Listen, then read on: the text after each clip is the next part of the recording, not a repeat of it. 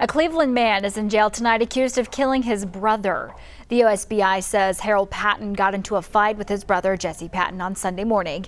They say Harold put Jesse in a chokehold for about five minutes. They say when they arrived, Jesse Patton was not breathing and his girlfriend was trying to do CPR. Jesse was taken to the hospital where he died. Harold Patton was arrested on a second degree murder complaint.